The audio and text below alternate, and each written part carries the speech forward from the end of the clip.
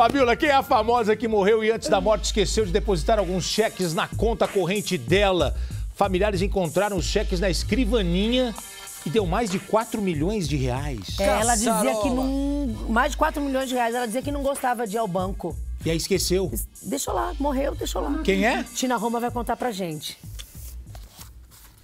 Gente que não gosta de ir ao banco, não é? Mas Aretha Franklin passou do limite. A família da cantora, que faleceu há pouco mais de um ano, encontrou vários cheques guardados por ela em uma gaveta do armário do quarto.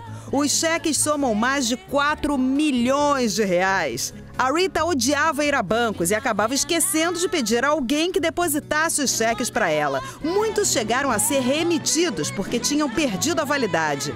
O inventário da cantora ainda está em processo na justiça americana. A Rita Franklin tinha um patrimônio de cerca de 325 milhões de reais, fora os cheques. E tudo será dividido entre os quatro filhos dela.